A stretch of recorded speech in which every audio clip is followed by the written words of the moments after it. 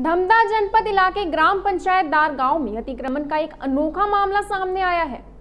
गाँव के बिसाहिन बाई, मेहरीन बाई, थनवारीन बाई के अलावा अमरदास, रविदास साहू सहित सात ग्रामीणों ने पंचायत पर लिखित शिकायत दर्ज कराई थी कि प्रदीप हलवाई, बुधन हलवाई ने खेत के सामने अतिक्रमण किया है। उसे हटाया जाए।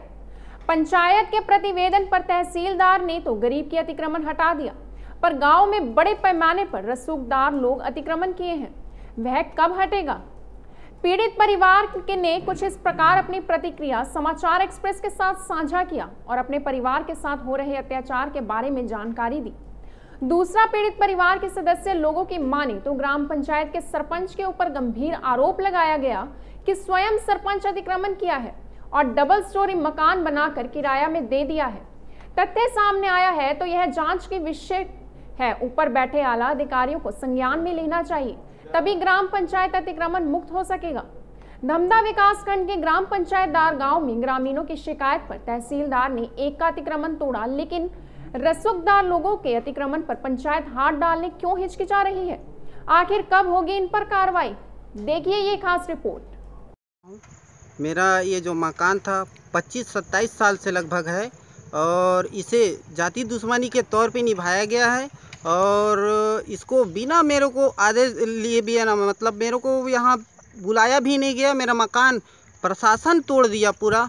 और मैं भी गरीब आदमी हूँ और मेरे खिलाफ़ ज़बरदस्ती एफआईआर दर्ज करवा के सरपंच साहब और ये खेत वाला पीछे खेत वाला अमरदास मेरे साथ जाति दुश्मनी निभाया है वो भी अतिक्रमण में रह रहे हैं उनका भी घर अतिक्रमण में है और वो वो खुद जो सरकारी ज़मीन था, उनको प्रदान में मिला गया था, वो बेच खा कर खुद अतिक्रमण में रह रहा है वो। और मेरे खिलाफ अतिक्रमण का ये केस किया है वो। और मैं ये चाहता हूँ, सरपंच भी अपना घर बनाया है। उसमें अतिक्रमण में करके घर बनाया, उसको किराए पे दिया गया है। और वो खुद अतिक्रमण में डबल मंजिल का घर बनाया है और खुद वो रह रहा है। और ये जब से मैं लाइट मांगने के लिए दस साल से मैं परेशान था, दस साल से मैं लाइट मांग रहा हूँ, लाइट दे दो, लाइट दे दो, सर। वहाँ हम लोग को यहाँ परेशानी हो रहा है रहने के लिए तो हमको लाइट ही नहीं दे रहा था। तो हम लोग रहें तो रहें कहाँ? हम लोग तीन भाई तीन भाई, एक परिवार, तीन भाई वहाँ रह रहे हैं। हम लोग कैसे रहते हैं, हम लोग जानेंगे। हम लोग भी बहुत गरीब आदमी हैं। आप हमारा घर भी देख सकते हैं। और हमारा इंक्वायरी करके मैं प्रशासन से निवेदन करता हूँ कि मुझे न्याय दिया जाए।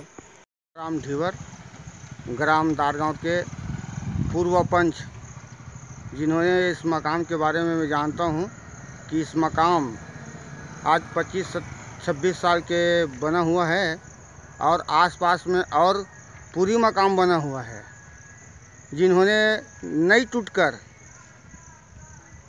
इस और बिना सूचना के टोरा है, ये बहुत नाजायज माना जा रहा है। हम लोग सत्रह, पूरा फैमिली सत्रह होते हैं। और इस छोटे से फैमिली मतलब घर में हम लोग सब साथ में रहने के लिए मजबूर हैं।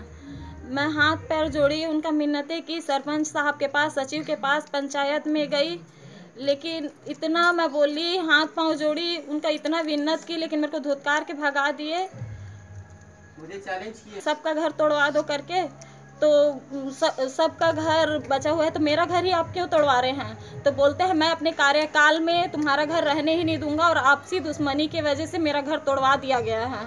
मैं सबसे, जितने भी हैं, सबको इसे मैं यही अनुरोध करती हूँ कि आप लोग मेरा साथ दे, आप लोग मेरा साथ दे और एक गरीब का विन्नत सुने और मेरे छोटे छोटे बच्चों पे रहम खा करके मेरे को न्याय दिलाने की कोशिश करें। JBD Banquets lie हैं incredible marriage palace Rajgharana and the finest banquet hall Jyoti Garden.